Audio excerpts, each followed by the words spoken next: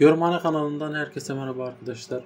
WordPress sistemdeki eklentileri güncelledikten sonra özellikle şöyle bir uyarı aldım arkadaşlar. Şunu aldım, kopyaladım. İnternetten baktım arkadaşlar. Bakım modu uyarısıymış. Ben bunu nasıl kaldırabilirim? Öncelikle C panelime giriş yapacağım arkadaşlar. C panele girdim. Siz de kendi C panelinize girin.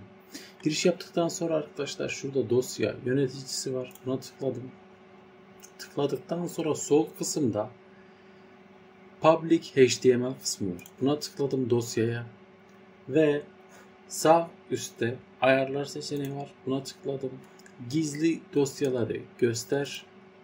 Save ve bana uyarı veren dosyayı gösterdi arkadaşlar. Şöyle sağ tıklayıp buradan aşağıda delete seçeneği var. Buna tıkladım.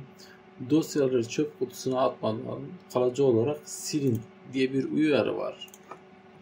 Sil dedim ve bundan sonra arkadaşlar şimdi kendi siteme giriş yapmaya çalışayım.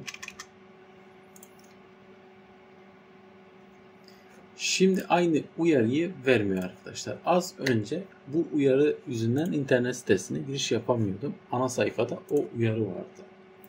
Bu şekilde arkadaşlar bakım modu uyarısını silebilirsiniz ve sitenizi tekrar eski haline getirebilirsiniz arkadaşlar. Video bu kadar. İzlediğiniz için hepinize teşekkürler.